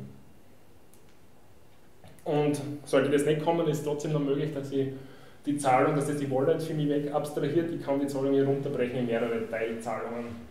Dann sieht halt die Wallet, okay, ich muss jetzt eine Zahlung machen, dann muss er mit seinem Gegenüber auf, ausmachen, ich möchte es aber bitte in 10 Transaktionen aufgestückelt haben und dann schickt die, dann, die Wallet halt 10 einzelne Transaktionen. Das ist halt dann wieder ein bisschen interaktiver, ein bisschen langsamer, ein bisschen komplizierter, aber es theoretisch jetzt im Lightning-Netzwerk auch schon möglich. Schöner Wenn das von mehreren Leuten genutzt wird, dann werden ja auch diese Channel-Größen immer größer werden. Anzunehmen, ja. Aber das ist halt wieder so ein Bootstrapping. Also man muss dem erst vertrauen, damit ich das, ja. weil ich weiß, sollte ich dann nicht kooperieren, kann ich mal 10, 100 Blöcke nicht auf meine Bitcoins zugreifen und muss meiner viel zahlen. Ja, aber der, der so einen größeren Channel aufmacht, sagt, okay, ich stopfe da 50 Bitcoins rein in meinen mhm. Channel, ja. der kann ja sagen, okay, über mich kommst du fast immer drüber, aber meine Fees sind höher. Genau. Aber dann wird es halt einen Nachbar von ihm geben, der sagt, okay, für mich kommst du vielleicht nicht immer drüber, aber dafür sind meine Fees niedrig. Ja, genau da da links dazu, wenn die Vorstellung. Okay. Ich hätte jetzt eine kleine Live-Demo vorbereitet, wenn dann jeder noch Lust hätte, irgendwas zum Sehen, können wir da was machen. Genau, jeder macht den Channel mit mir auf und ich schicke den besten Bitcoins. Können wir gerne machen. Dann einmal kurz Einwurf. Wir suchen auch immer wieder Leute. Also falls irgendwer von euch Interesse hat an einem, äh, in einem Unternehmen, das sozusagen sehr an der Front der Technologie immer herumexperimentiert und arbeitet, zu uns. Also wir sind in Graz in der Griesgasse 10. äh, ich wollte eigentlich Ausdrucke mitnehmen mit ein paar Job-Offers, was wir jetzt offen haben, aber kommt einfach vorbei, falls wer Interesse hat. Java-Entwickler, PHP-Entwickler, super. Sind die nur Fulltime oder auch Freelancer? Was kriegt Ja, also wenn es passt, kann es weniger sein, aber nicht Da sind dann ein paar Links, falls ich die, äh, die Präsentation später runterladen will. Oder wir können kurz. Das sind die drei Lightning Notes, die es gibt. Ich habe bis jetzt Tape benutzt, weil das die erste äh, Node war, die relativ einfach im, im Produktiv-Bitcoin-Netzwerk zu benutzen ist. Die anderen wollen die Entwickler eigentlich explizit nicht, dass sie im, im Broadnet benutzt werden, sondern nur im Testnet Bitcoin, weil das halt für sie ein Supportaufwand ist. Wenn jetzt, jetzt irgendwelche Leute herkommen, die nicht wirklich oder mit sehr hohen Erwartungen da reingehen und hoffen, dass das alles gleich mal funktioniert, dann haben sie halt lauter Support-Tickets, weil jeder jammert, dass nichts hin hat. Also die, alle drei kann man im Test Bitcoin-Netzwerk relativ gut benutzen und das eben produktiv. Es gibt da sehr interessante Videos. Das erste hat mir sehr viel geholfen für den Vortrag. Das ist zweieinhalb Stunden lang oder so, und geht technisch nochmal zehn Stufen tiefer als das für heute. Das ist auch ein Vortrag von Mitentwickler für LND, glaube ich, und das muss man sich mit Vorsicht genießen, weil der redet so schnell, da hat es mir die Sicherung gehabt. Ähm, das können wir uns noch später anschauen. Es gibt sowas wie Block Explorer, aber, also das, das habe ich gar nicht erwähnt. Ein ziemlich cooles Feature von Lightning ist, es ist um einiges mehr privater als Bitcoin. Weil auf der Blockchain und auf der öffentlichen Datenbank sieht man nur die Öffnung eines Channels zwischen zwei Parteien. Was dann über den Channel drüber blutet wird, sieht eigentlich nur die zwei Teilnehmer der zwei, des Channels und sonst niemanden. Das heißt, es gibt Block Explorer, die machen nur einen sehr High-Level-View, sondern die sagen, es gibt Nodes und die haben Verbindungen. Und man weiß eigentlich nichts, was in den Verbindungen passiert. Sieht man in dieser Transaktion, dass der Channel geöffnet oder geschlossen wurde? Also Öffnen und schließen, ja, das ist eine ganz normale Bitcoin-Transaktion, aber jede aber sieht man den Unterschied zwischen einer Normaltransaktion ja, und Man kann schätzen. Also sie schaut anders aus und es ist ein Multisig mit ein paar Zusatzsachen. Also es könnte ganz normale Multisig im Jahr sein, was man mit Exchanges machen. Aber das mit dem Zusatzsecret muss ja dort schon vorgesehen Nein, das R wird eigentlich nur dann im, innerhalb von Channel benutzt. Also das steht auf der Blockchain gar nicht zu 100%, dass es so ein Channel öffnet. Nein. Ja. Ich kann es ja noch in deinem Fall so anonym machen, dass ich einfach sage, hey, zahl mal du oder zahl du an deiner Adresse keine 0,1 Bitcoin, also zahl ich dir das. Genau, so, so ist es eigentlich nur so aus, dass du es dann zahlst, aber eigentlich habe ich indirekt dir ich dann Das ist genau das Gleiche, nur dass ich halt zusätzlich noch das R austausche, so dass ich immer sicher sein kann, dass mich niemand am Weg betrügt. Weil sonst könnte es sein, ich sage, hey, zahlt einem bitte 0,1, ich gebe 0,1 und er sagt, ja, mach ich, und nimmt die 0,1 und tut dann nichts. Du hast also quasi am, am Coin-Mixing studiert, ne? Kann man so sagen. Ich würde jetzt nicht gerne benutzen, den Begriff, weil halt belastet ist, aber zu einem gewissen Grad ja, aber ich weiß unter Umständen nicht, wer mein Gegenüber ist. Es kann sein, dass ich mit einem NSA-Channel laufen habe und das nicht weiß. Und wenn ich dann über den rüberrufe, dann wissen sie zumindest von mir. Das ist auch. Die könnten ja auch einen Mixer betreiben, also so gesagt. Ja. Also wenn man nicht so weit zurückgehen kann, weil das ist auch relativ interessant. Äh, wer hat das mit Gossip gesagt? Also das Gossip-Protokoll ist ähnlich zu Tor aufgebaut, was äh, zwiebelmäßig oder schallmäßig verschlüsselt wird. Das heißt, wenn Alice eigentlich den Auftrag an Bob schickt, dass er Dave zahlen soll, weiß der eigentlich nur äh, über das Bescheid und über das Bescheid. Er weiß nicht einmal, ob Alice jetzt der Auslöser der Zahlung ist oder ob da hunderte vor ihr noch waren. Mhm. Sondern er sieht wirklich nur das, was für ihn nötig ist und einen großen verschlüsselten Blob, was dann nur der Carol zu einem gewissen Teil lesen kann und er schickt das weiter und dann kann das Dave lesen. Das heißt, die zwei wissen eigentlich gar nicht, wo sie jetzt drinnen sind. Also ob Dave jetzt das Endzielpunkt ist oder ob Alice wieder der Ursprung ausgegangen ist. Nur Start und Ziel wissen, dass sie Start und Ziel sind. Alle anderen dazwischen genau. wissen es nicht. Genau. Ähnlich wie dort funktioniert. Man müsste über die Größe von dem verschlüsselten Blob irgendwie inferren können, wie weit das ja. gegangen ist. Aber da gibt es ja schon Betting-Algorithmen. Also da hat man bei Tore schon einiges an Erfahrung und es ist bei Gossip schon umgesetzt, dass man ein bisschen ein Betting einfügt, was zu gewissen Größen hin äh, quantisiert, sozusagen, dass immer das nicht wirklich weitmäßig ist, also dass du keine statistischen Analysen machen kannst. Schwieriger zumindest. Du kannst gewisse Aussagen treffen, aber nicht so offensichtlich über Bitcoin. Ja? Also quasi das Gossip-Protokoll ist ein ganz eigenes, was unter die Lightning Notes genau, ja. funktioniert. Wie viele Lightning Notes gibt es? Äh, 1100 habe ich gerade geschaut. Danke. Im Broadnet oder mehr? Testnet?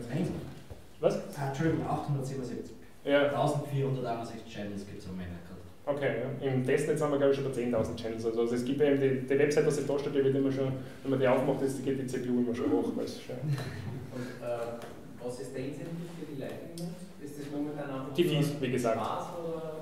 In der jetzigen Phase definitiv Spaß und das muss jeder, der jetzt ein Broadnet Lightning Node betreibt, muss seine Bitcoins als verloren sehen. Also es ist durchaus möglich, das haben die Entwickler gesagt, uns interessiert das jetzt eigentlich überhaupt nicht, dass ihr äh, Broadnet Nodes betreibt, weil das uns einschränkt.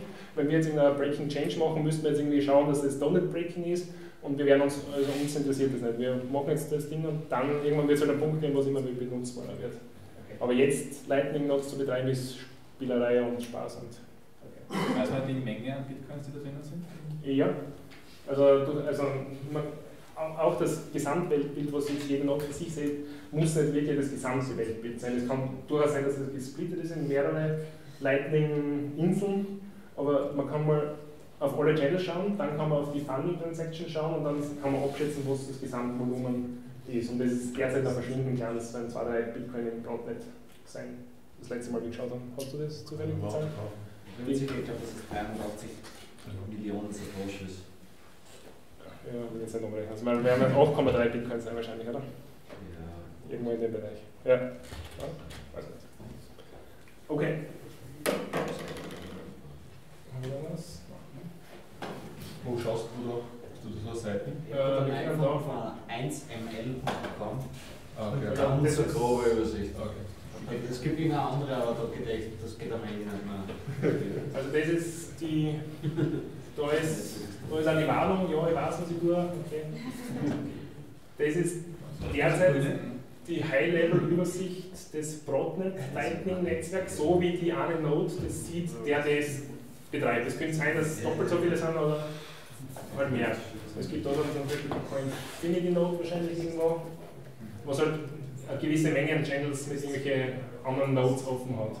Ein paar haben wir gezielt ausgesucht, weil es halt viele Verbindungen hat, haben. Und ein paar haben wir einfach zufällig im Netz ausgesucht. Aber ja. Also das sieht man, also die totale Kapazität ist 40.000 Dollar. Also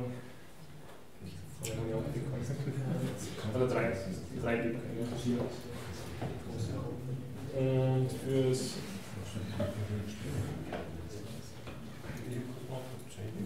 fürs Testnet gibt es einen grafisch einfach schöneren Explorer. Da wird die geografische Position durch die IP geschätzt. Und da gibt es jetzt 2000 Nodes. Und das sind wesentlich mehr. Und das macht auch mehr Sinn im Testnet, das zu testen, weil da verliert man kein Geld, sollte irgendwas passieren. Was ich euch jetzt zeigen wollte, wir haben kurz einmal ein ganzes Wochenendprojekt. Ich glaube, das ist jetzt aber weil es besser verstehen wollte, haben wir ein Skript zusammengebaut, wo ich auf meinem Rechner mehrere Lightning Nodes starten kann. Die werden durch Developers da äh, veranschaut. Das Vorteil ist, wenn ich, wenn ich die alle starte, kann ich in jeden Channel reinschauen. Das kann ich im normalen Lightning-Netzwerk nicht. Aber das heißt, ich kann jetzt von jedem Node fragen, wie geht es dir, was für eine Weltsicht hast du oder wie ist dein Channel Balance. Das ermöglicht, dass ich es halt ein bisschen äh, einfacher debuggen kann oder verstehen kann. Da kann man dann jetzt zum Beispiel der Node 13 sagen, mache dann Node 8 über 50 Millibitcoin an Channel auf. Die haben eine gewisse äh, Balancer und das ist dann die Transaktion, was auf der Blockchain, was auf der Blockchain gemacht wird. Dann kann ich jetzt, jetzt habe ich beide Nodes gefragt sozusagen und sehe, sagen wir, dass sie mal einen Channel haben, der aber noch nicht bestätigt ist, deswegen ist es so strichiert. Äh, das ist jetzt immer ein bisschen der Punkt für der Präsentation, was nervig ist, weil jetzt müssen wir halt 10 Minuten warten, bis er bestätigt ist. Dann mache ich noch ein paar Channels auf. Oder ich kann meiner Node sagen, dass 20 Blöcke meint, das ist ein Recktest-Node, also da kann ich Blöcke on demand meinen. Das wäre schön, wenn das in das Netzwerk geht. Und dann wird er als bestätigt angezeigt. Das heißt, jetzt sozusagen ein gültiger Channel zwischen 13 und 8. Er ist grafisch so dargestellt, also die gleiche hat wie 13. Natürlich habe ich jetzt das wieder super ausgewählt, aber wurscht. wenn sich jetzt der 13er dazu entscheidet, dass er einen 8 20 Millibitcoin schickt, kippt die Balance rüber. Sozusagen er hat jetzt nur mehr 30 Millibitcoin und die, der 8er hat 20 Millibitcoin. Das ist jetzt das, was wir vorher unter Payment Channel erwähnt haben. Das heißt, jetzt kann ich auch eine Millibitcoin-Transaktion so viel wie ich will machen. Das kostet mir momentan nichts, weil keine Fees konfiguriert sind und auch sonst werden verschwindend klein. Und ich kann es natürlich auch wieder in die andere Richtung machen. Das geht jetzt in beide Richtungen. Beide Nodes wissen, kein andere kann man betrügen, also kann man jetzt mit dem Ganzen abhauen, es sei denn, die andere versucht ihn zu betrügen. Wenn es beide kooperativ sind, können sie den Channel jetzt schließen und würden eine Transaktion machen, was der Node 13 30 Millibitcoin und der Node 8 20 Millibitcoin äh, zahlen und der Channel ist geschlossen. Kurze Frage. Der Tochter ist das, glaube ich, kann also die 20 Millibitcoins nicht hernehmen für einen anderen Channel. Genau, der, das, also das ist die Balance, was, also in dem Fall jetzt da. Weil, weil er jetzt nur den Channel, also zum Öffnen, also zum Öffnen eines anderen Channels kann es nicht. Aber sobald er einen anderen Channel aufmacht, kann er drüber routen. Und das machen wir jetzt, also jetzt sagen wir, die 8er soll mit der 3er, machen wir auf 50 Millibitcoin, sehen wir jetzt auch wieder unbestätigter machen wir eine Blöcke. Das dauert dann immer die Block, Block Propagation, bis jeder weiß, dass alles da ist. Also jetzt ist es so, der hat jetzt einfach jetzt mehr Balance. Er weiß jetzt eigentlich nicht, was entscheidend das ist. Also er würde es wissen, aber ich stelle das nicht nach, das ist noch ein nervig. Und das ermöglicht ihm, dass er jetzt natürlich von 8 auf 3 äh, 20 schicken kann. Genau, jetzt gerne halt am 3er 40 Millibitcoin und ihrem Kern nicht mehr so viel. Aber jetzt ist, sind die Channels haben sozusagen in beide Richtungen Spielraum. Ja, also vielleicht nicht. Schickt man da noch zurück, also 3 auf 8, Stück 10. Also noch halbwegs richtig sind. Jetzt habe ich die Möglichkeit, dass ich von der 13er Node auf die 3er Node, also die zwei haben untereinander keine Channels offen. Und jetzt können wir schauen, da habe ich jetzt die Balance 30, 40, 30. Und jetzt sage ich, ich möchte 10 Millibitcoin von 13 auf, das machen wir kleiner, das 5 Millibitcoin von 13 auf 3 schicken. Wenn ich das zahle, sieht man, die Balance in den jeweiligen Channel hat sich verändert. Die Balance auf Node 8 ist natürlich gleich drin, aber da sind äh, 5 weniger Karten und da sind 5 mehr Karten. Und das kann ich jetzt äh, sozusagen so oft will das durchführen und man sieht, also für die Form her, die Menge, was hochgehört, ist gleich, nur es kippt von einer Seite auf die andere vom Channel. Und die Balance natürlich für die Endteilnehmer ändert sich. Und die tauschen jetzt aus bis zu einem Punkt, wo 8 3 nicht mehr vertraut, weil er halt jetzt nicht mehr genug im Channel hat und dann sagt, es gibt keine Route mehr. Das zweite Netzwerk wird dann natürlich interessanter, wenn mehr Verbindungen sind. Da habe ich jetzt einfach mit Zufallsgenerator, dass ich Nodes untereinander Verbindungen aufmachen lasse. Es gibt da. Man kann das irgendwie schön machen, dass ich das selber auseinander teilen. Aber ein Bildschirmschoner. Genau, ja. Lightning-Schoner. Entschuldigung, kann man unter zwei Nodes ähm, zwei Channels aufmachen? Äh, technisch geht's, aber witzigerweise die, die Node, die ich, also die Lightning Node implementieren und der IBM benutzt, unterstützt das nicht. Aus irgendeinem Grund. Das habe ich dann herausgefunden. Da gibt es auch ein Ticket offen auf GitHub und früher oder später werden sie es auch machen. Weil das ist dann für die Atomic Swaps vor allem wichtig. Äh, den habe ich gemeint. Schauen wir mal, wie es da geht. Und jetzt ist eben der Punkt, es sind viele ver verbunden, aber die Channels sind die meisten auf irgendeiner Seite. Das heißt, jetzt ist, es schaut zwar aus, als wäre alles verbunden, aber zum Beispiel 8 könnte nichts auf 5 schicken wahrscheinlich, ja, weil da jetzt zurückgehen. Mal schauen wir mal. 8 auf 5 an. Okay, also der hat sich jetzt eine Route gefunden. Man sieht, das Magentere verschiebt sie. Also über 13 routet der jetzt drüber. 13, äh, die Balance für 13 bleibt immer gleich, aber sie ändert halt die Seite des Channels. Und die Routing-Logik kommt jetzt woher? Äh, den hat Node 8. Also Node 8 hat einen Auftrag gekriegt, such Richtung Node 5 an eine Route. Der suchte, findet unter Umständen mehrere, der wird drei gefunden haben.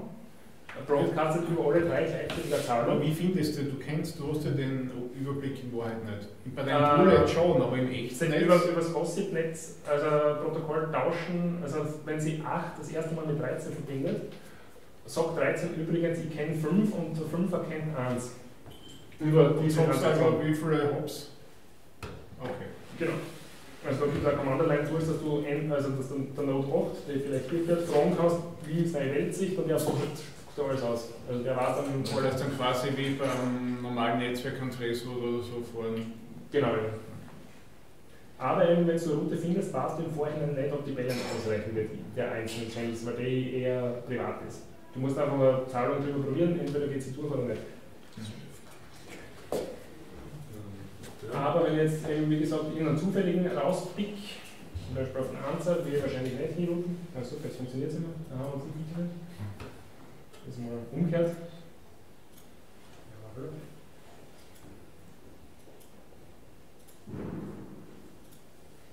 Okay, interessant. Jetzt habe ich meine Balance so ausgeglichen, zufällig gewählt, aber was ich eigentlich sagen wollte, also desto mehr Verbindungen offen sind, desto, desto wahrscheinlicher wird man eine Route finden. Jetzt haben Sie es gesehen. Und was es dann noch sehr wahrscheinlicher machen wird, ist, wenn die Channels alle ausgeglichen sind. Jetzt gebe jeder Node einen Auftrag, schickt die Hälfte deines Channels an die andere Seite. Das ist jetzt, macht in, im Echtbetrieb weil ich die Hälfte meines Channels aufgeben würde für nichts. Aber eben, es wird dann Bots geben, was halt dann Loops finden im ganzen System, was, was, was irgendwie einen Weg finden, dass es sich selber übers Lightning-Netzwerk Geld schicken, so dass andere Channels ausgeglichen werden und dafür bezahlt werden. Und sobald der Zustand mal erreicht ist, dass jede Node an annähernden, jetzt muss ich nicht machen, das besser annähernd, annähernd ausgeglichenen Channel hat, äh, kann ich jetzt für jede Node, was ich da finde, kann ich irgendwo hin, hinrouten und es wird hinhauen. Bis zu einem gewissen Punkt, halt, bis die Channels irgendwo hinklicken. Also jetzt sieht man, dass das alles jetzt durchwandert, also wenn man zu schnell klickt. Und das ist auch interessant, also man hat gesehen, da ist jetzt über das da drüber gegangen. Und, der ist dann vollfahrt und dann jetzt routet er da zum Beispiel über den N5 über den Grünen drüber, bis der ausgelastet ist. Und dann kann es sein, dass er entweder keine mehr findet oder sie wieder eine andere Route sucht. Ja, jetzt hat er noch eine, gefunden.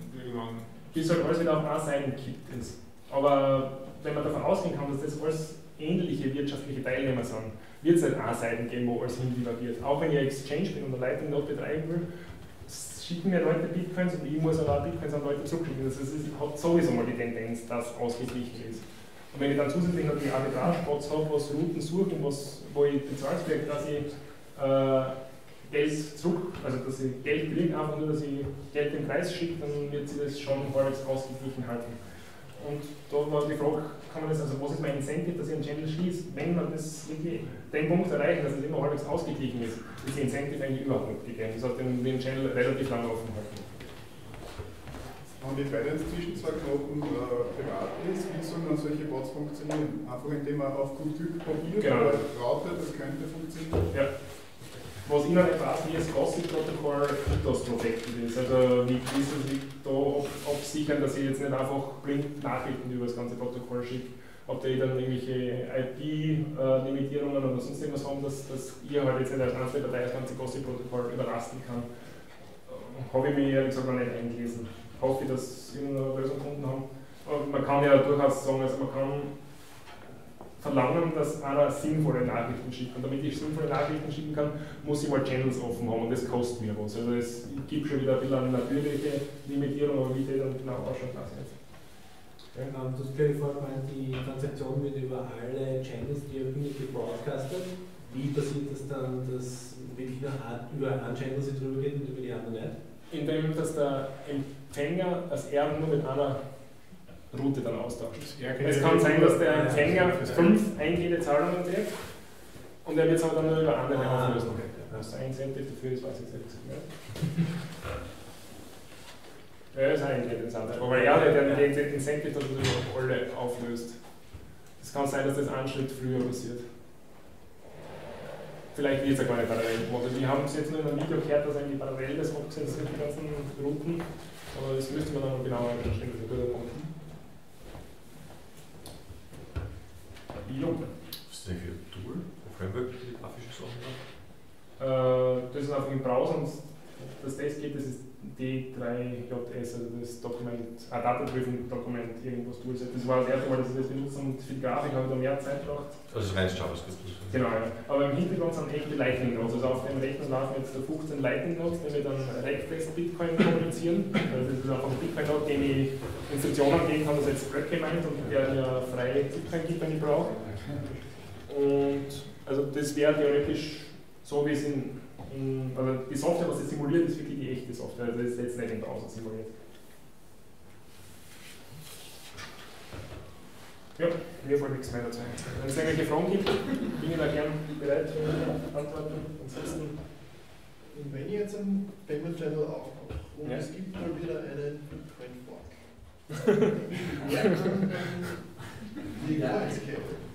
Wenn beide Seiten des Payment Channels dann auf den Fork aufspringen und sie einig sind, dann haben wir auf beiden Seiten einen Payment Channel, das stimmt ja. Stimmt, dann, dann also wenn es auf Bitcoin-Ebene Erfolge gibt, folgt sie auch das Lightning-Netzwerk und alle, was mitmachen wollen, haben gleichzeitig in beiden Netzwerken, ui, das ist cool, weil dann kannst du gleich, wenn du Atomic Swaps hast, dann kannst du gleich wirklich atomar und trustless eine Preisfindung zwischen die zwei äh, Fork-Coins machen, sozusagen. Weil du schon ein fertiges Lightning-Netzwerk hast, wenn es geforkt wird. Das heißt, das wird auch von den Beispielen wie den gesamten Betrag, sondern sie machen ja automatisch einen entsprechenden Channel wieder auf. Ja, in erster Instanz ist es gleich wie wenn du Bitcoins hältst zum Vorteil, hast du auf der gleichen Adresse Bitcoins und Bitcoin Cash oder was auch immer. Äh, und wenn Sie dann bei den Beteiligten entschließen, dass Sie darauf ein Lightning-Netzwerk fahren wollen, dann haben Sie Lightning-Channels mit der Balance schon vorgebaut. Und können dann, wenn es eben Atomic Swap untereinander austauschen, das findet sofort eine Preisfindung statt. Also da werden Robots dann relativ schnell agieren wahrscheinlich und ja,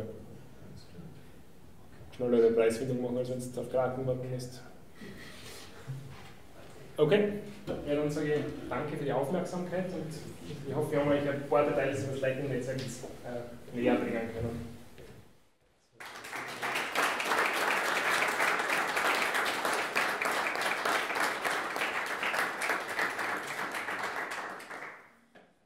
Jo. Herzlichen Dank, Daniel. Bitte, gern geschehen. Ich bin froh sein, dass wir in Graz einen Experten in dem Bereich ich habe mich jetzt nochmal Zeit lang beschäftigt damit es ist definitiv ein interessantes Projekt, was vor allem es ist mal wieder komplett was Neues. Also jeder geforkte Altcoin ist, hat paar Neuigkeiten, aber es ist im Grunde eigentlich das gleiche alte nochmal aufgewärmt und das ist jetzt wieder was, was sehr interessant ist und sehr neue Incentives-Felder mit sich bringt, ist durchaus komplizierter.